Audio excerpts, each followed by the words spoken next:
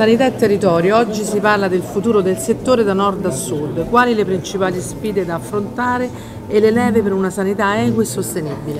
Sì, oggi è un convegno particolarmente interessante al quale teniamo molto per ribadire quello che è il nostro progetto sulla sanità che io definisco del terzo millennio, una sanità più equa su tutto il territorio nazionale, non solo sud e nord, ma anche eh, grandi città e piccoli centri aree magari che si trovano al centro della nostra bellissima nazione che sono più difficili da raggiungere.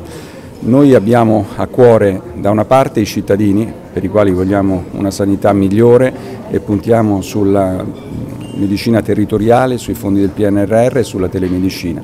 Dall'altra parte abbiamo a cuore gli operatori sanitari eh, che è giusto che abbiano eh, un aumento in quello che è il loro stipendio e che abbiano anche delle migliori condizioni di lavoro. Quindi questa è la sfida per il futuro, una sfida dalla quale però non possiamo non dimenticare eh, una visione che è quella One Health, che mette insieme la salute dell'uomo con la salute dell'animale, con la salute dell'ecosistema e non può prescindere in una nazione longeva come la nostra dalla prevenzione. Investire in prevenzione è la cosa migliore credo che oggi uno Stato possa fare quando si parla di salute e abbiamo anche un occhio di riguardo perché è un problema importante per la salute mentale. La salute mentale. Ministro, le disparità tra regioni e regioni, fra nord e sud, ma anche all'interno di ASL pure al nord, sono enormi per quel che riguarda l'offerta di salute ai nostri pazienti. Il 60% degli ospedali italiani ha più di 70 anni, abbiamo visto purtroppo la tragedia di Tivoli.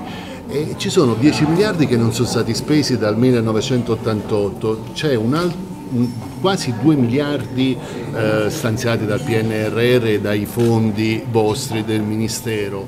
Che cosa ci vuole per eh, far avviare questi lavori? Io sono stato il primo nell'aprile scorso a dire che c'erano quasi 11 miliardi di euro a disposizione non spesi, come ha detto giustamente lei, dal 1988. Noi siamo a disposizione delle regioni che vogliono presentare eh, questi piani per avere la possibilità di usufruire di questi fondi e stiamo anche cercando di rendere la parte nostra burocraticamente più snella, questo passa per un accordo diretto tra noi e le regioni in modo tale che questi fondi possano essere messi a disposizione dei territori per avere ospedali più moderni e più sicuri per i cittadini.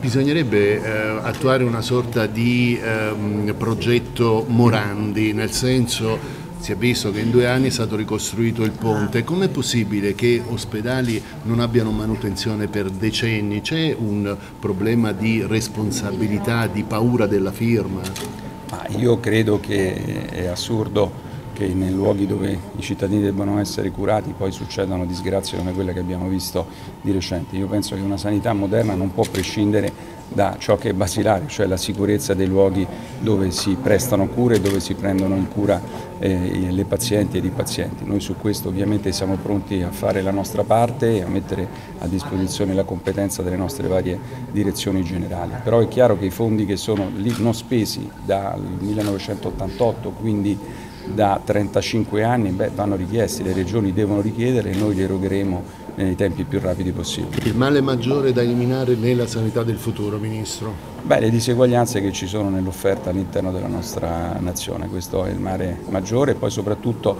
avere un focus e combattere le liste di attesa che non si combattono solamente eh, con eh, più fondi come abbiamo cercato di mettere in questa finanziaria, ma si combattono anche portando avanti il concetto di appropriatezza.